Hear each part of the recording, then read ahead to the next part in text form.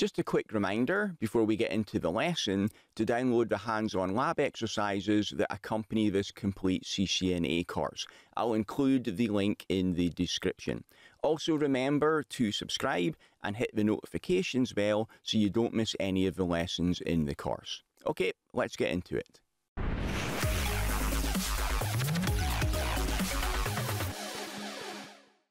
We've finished everything about IP addressing and subnetting. And if you're like me and not very good at maths, you're probably going to be glad to hear that. Don't worry, everything else that we're going to cover is not maths based, and you, are not going to be having to count anything up in your head. Everything else that you're going to get tested on is about the different features that are available, what they do, how to configure them, and how to troubleshoot them.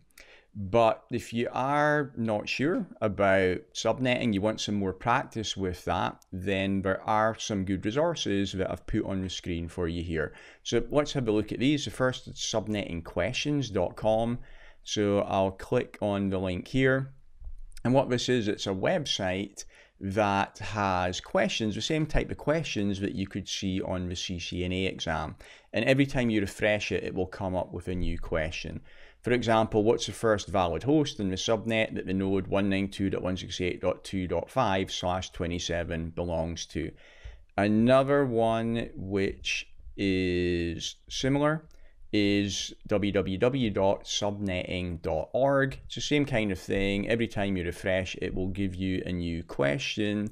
Again, same type of question, and it's really variations on everything that we covered earlier in this course. So you should be confident that you can answer any of these questions now. So check the question. When you figured it out, you can click on reveal answer, tells you the answer, and then you can go on to the next question. So this is really good for practicing subnetting.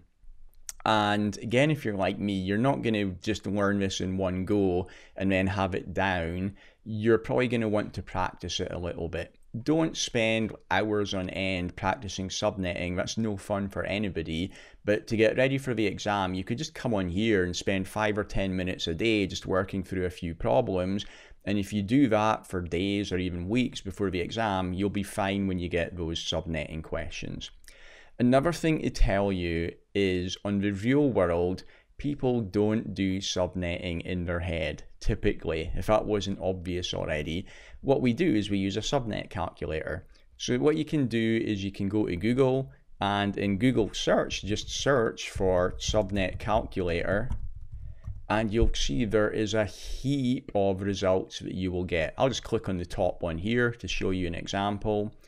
So what this is useful for is if you are doing subnetting in the real world, if you need to figure anything out, also if you're doing exam practice and you want to check that you got the answer right, you can just come in here, plug in the numbers, and it will give you the answer. Okay, that's it, subnetting done. Let's move on to some other features now. Thanks for watching. If you'd like to get the complete course ad-free right now, then you can enroll in my CCNA Gold Bootcamp by clicking the link above my head or in the description. It also includes full study notes, quizzes, and 150 pages of additional troubleshooting labs you can't find anywhere else.